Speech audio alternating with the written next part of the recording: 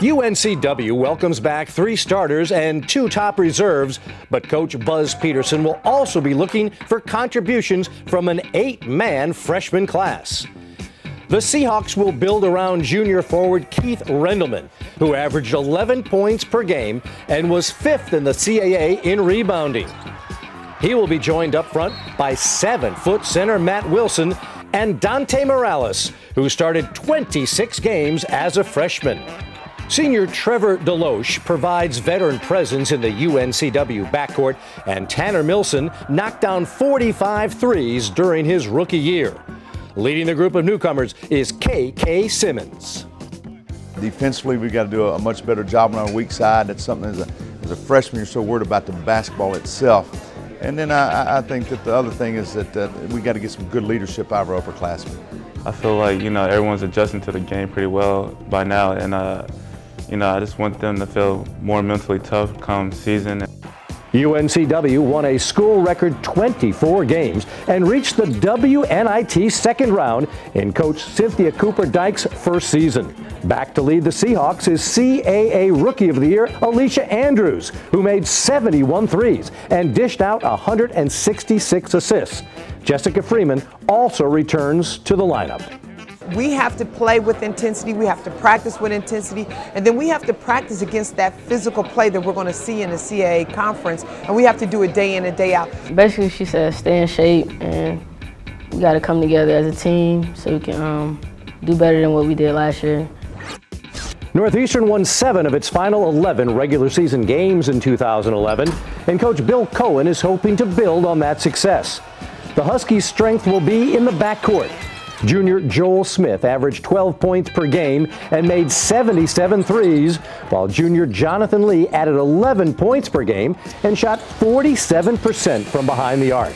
Sophomore Alwayne Bigby is back from an injury and adds more backcourt depth. Northeastern's top returnee in the post is sophomore Ryan Pearson, who earned a spot on the CAA All Rookie squad. Junior forward Kauri Black provides energy and athleticism up front. When, you, when you're talking uh, title contending, uh, you, you, have to talk about rebounding and defense, and that's uh, an areas, eh, two areas that we really need to improve. Coach Coen, he likes offense, but he loves defense, so uh, defense has been a big thing for us, and working on team defense and individual defense. Northeastern should be improved under Coach Daynia LaForce-Mann as three starters return. The strength of the Huskies is in their backcourt, where junior Deanna Kirchhoff and seniors Jamie Conroy and Kashea Cannon all averaged better than 10 points per game last season. We have to be able to um, allow our leadership to help us win games.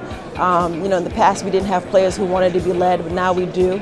Um, and I think our leadership is really going to help us turn the corner this year. I feel everybody has to step up because we're a team and one person can't win. So if we all step up and do our part, we should be very successful. Old Dominion is coming off back-to-back CAA titles and its fourth NCAA tournament appearance in seven years. But Coach Blaine Taylor will be counting on several players to fill new roles this season. Leading the Monarchs is senior guard Kent Bazemore, who earned second team All CAA honors and was also named the league's Defensive Player of the Year after making 76 steals. Joining him in the backcourt will be point guard Markel Delancey and three-point specialist Trian Iliadis. Returning in the Monarchs front court are senior starter Chris Cooper and junior Nick Wright. Clemson transfer Donte Hill is the team's top newcomer. I like our team. I think we'll improve from day one until the end as much as any team I've had, which has been a common theme with us. Uh, if we could get there, it'd be quite a story. I'm definitely ready for the challenge. I mean, it may be a little rough, but I mean, if, it, if it's not, if it don't hurt, I mean, it ain't gonna feel good to you. First year coach Karen Barefoot returns to Old Dominion with the goal of returning the Lady Monarchs to the top of the CAA standings. Senior forward Tia Lewis earned all CAA honors after leading the team in scoring and rebounding, while guard Jackie Cook made 34 threes. We're going to work hard every day, and it's exciting with this new group, um, just, you know, making them appreciate the history but live for today.